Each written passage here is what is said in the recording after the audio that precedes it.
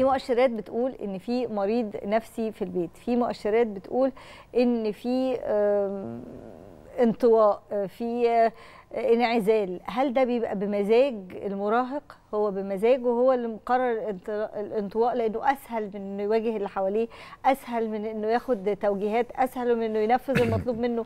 فاسهل إنه يسيب الناس وينعزل ويدخل بإرادته ولا ده بيبقى بره إرادته؟ طيب هو- في حاجتين. حاجتين كبار. يا إما يكون genetic هو عنده استعداد وراثي فطلع زي بابا أو ماما كانوا بيعانوا من اضطراب من الاضطرابات النفسية ممكن تكون موروثة زي اضطرابات القلق ممكن تبقى. موروثة عادي جدا. أو الجزء التاني البيولوجي إن هو من التنشئة الاجتماع... الاجتماعية وطريقة تربيته بس الحاجتين اللي إحنا بنقابلهم صدمتين موجودين بشكل كبير جدا هو صدمة الفطام وصدمة الميلاد. دي صدمات اللي هو لو تجاوزها في أول سنين حياته بنلاقي طفل على قدر كبير جدا من يكون شخص سوي. صدمة الفطام تبقى أول صدمة في الحياة. إزاي ممكن أفطم ابني؟ الناس اللي بتحط شطة في بقه الناس اللي فيه آه، نوع من أنواع الضرب فبيبدأ يبقى نشوز دفاعي فبيفضل يحط صباعه جوه بقه طول حياته عشان هو أذى والدته. دي بداية أول صدمة. إيذاء. وفي بعض الأطفال بيكبروا إيذاء النفس الغير انتحاري وبيكمل معاه لحد مراهقة بعد كده لحد بعد ما متجوز وفي ناس كتير جدا متجوزين سواء رجالة أو ستات بيحط بيحطوا صباعه جوه بقهم حاجات لا إرادية بيعملها مخ كنوع من أنواع الإسقاط عشان هو أذى والدته. بدءا بقى دخول مرحلة التعامل. طب هل أنا كنت التدليل الزايد ولا كنت بقسو عليه؟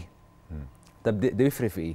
بلاقي كتير جدا آه، اضطرابات زي التقلبات المزاجية التخريبية المراهقين اللي عندهم آه، التمرد التفاعلي ونوع من أنواع العنف الشديد حتى لو ما كانش يعني هو ما كانش كده. فجأة دخل في بداية المراهقة قبل بداية البلوغ شخص عنيف جدا ومتقلب المزاج والمزاج العصبي. ده اضطراب.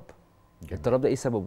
القسوة الشديدة أثناء فترة الطفولة وهو كان من الشخصيات الخجولة اللي مش قادر يعبر عن نفسه فدخل مرحلة المراهقة خد الشحنة دي من الضرب وبدأ يمارسها. وفي بعض الأطفال اللي بيخشوا بداية المراهقة عادي جدا يتحولوا إلى مجرمين. عشان هو بدأ. حاجة اسمها مرحلة التبلد أو الشعور بالسعادة في ايذاء الآخرين زي ما كان بيحصل معاه. أو الاو دي دي اللي هو إيه؟ التعارض أو العند المتعارض. يعني العند المتعارض. طفل دايما لأ في كل حاجة. ده حاليا بنسميه اضطراب بسبب الإجبارات المستمرة. بسبب اعمل كذا بلاش تعمل كذا. لما تكبر الكلام ال- أو أو الجمل السامة أو الجرثومة الكلامية اللي دايما بنعملها له ده بيعمل اهتزاز في الثقة في النفس وبيبقى اضطراب نفسي بعد كده. مظبوط.